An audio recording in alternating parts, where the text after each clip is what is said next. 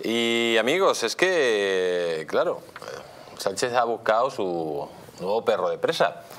Pero vean ustedes, pues hemos visto el momento donde fijó tritura a Sánchez, pero vamos a ver el momento donde Abascal directamente le retrata y le machaca. Véanlo.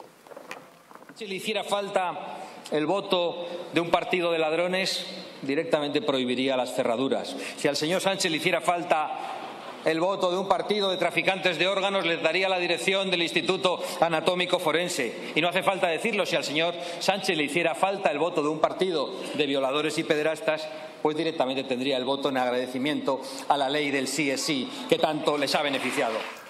Pues amigos, yo creo que es que esto es demoledor. Ha habido dos momentos demoledores y Sánchez que quería lanzar a su perro de presa para tapar eh, sus vergüenzas, pues al final ha seguido totalmente pues eh, trasquilado. Señor Vera, ¿qué opina usted?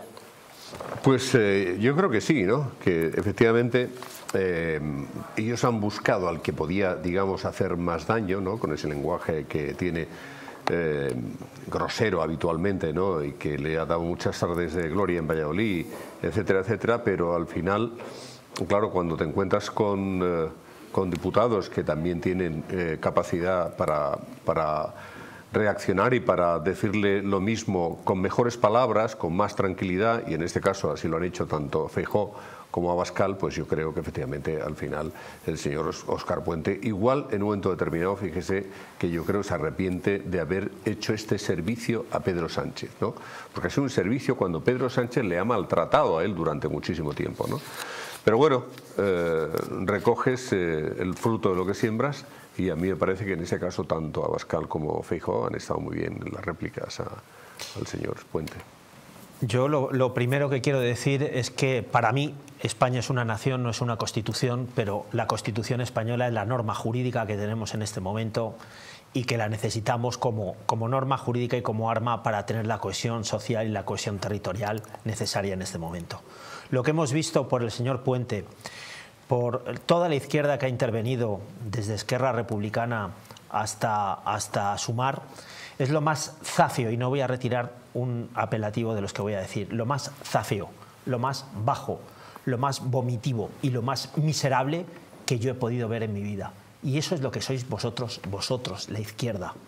Zafio, bajo, vomitivo y miserable. Esperamos que hagáis cosas peores, pero es que no sois enemigos para ningún patriota, porque nosotros, los patriotas, estamos dispuestos a luchar por España, porque en el fondo no nos mueve ningún interés. A vosotros os mueve solamente un interés, que es acabar con España, pero no vais a poder. Eh, señor Tamboleo, ¿cree usted que las izquierdas van a acabar con los patriotas? Bueno, los patriotas afortunadamente hay una, aquí yo creo que hay un, eh, un buen filón de resistencia, ¿no? entonces es muy difícil. Pero Oscar Puente va a ser ministro dentro de un mes. ¿Usted cree?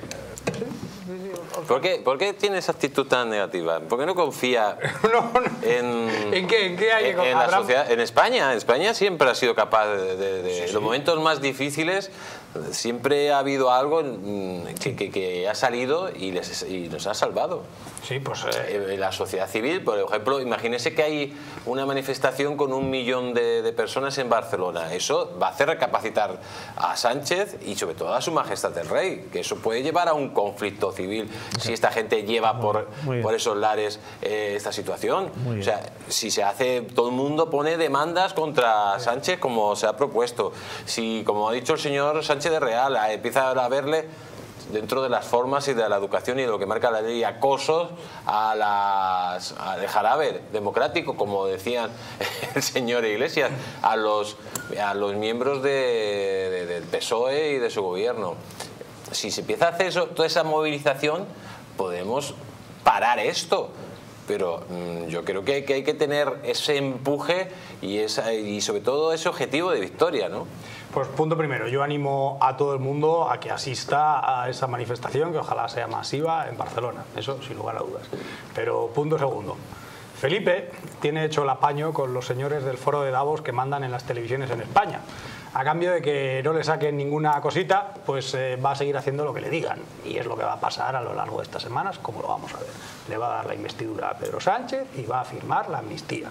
Y eso es exactamente lo que va a pasar. Entonces, eh, pues eh, con esos mimbres lo que habría que hacer es un movimiento muy fuerte de oposición en el que el Partido Popular y Vox deberían de haber tomado ejemplo eh, circunstancias de cómo en Italia, aunque luego Meloni haya salido por donde ha salido, eh, consiguió hacer una coalición que aglutinaba a todo el mundo. O sea, eso ha sido posible en nuestro país vecino. Aquí en España, sin embargo, no ha sido posible hasta el punto de que es que eh, si empezamos a hablar de las vergüenzas, pues tenemos que hablar de las vergüenzas de los escaños que ha perdido la derecha en Gerona y en Lérida por estarse Vox pisando al Partido Popular. Entonces, si sacamos un escaño de Gerona, sacamos un escaño de Lerida, sacamos el de Guipúzcoa y sacamos otro por Madrid, ahora mismo no estaríamos hablando de esto. Entonces, los principales responsables están en Génova 13 y en Bambú, que son unos señores que solo les interesa sus glúteos.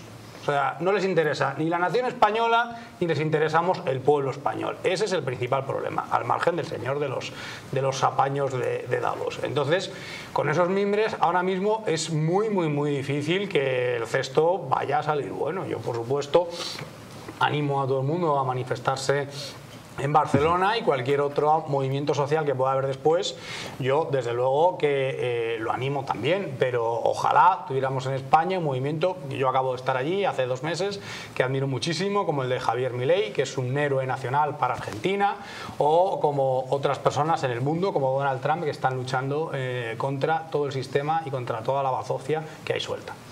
No, eh, yo, yo, creo que Rubén tiene mucha razón en esto que plantea, porque efectivamente el PP y Vox eh, tenían que haber llegado a un acuerdo básico, sobre todo si no dices en todas las provincias, sí en provincias en donde sabes que efectivamente esa pugna entre los dos al final es, eh, son votos que se le dan a los contrarios. ¿no?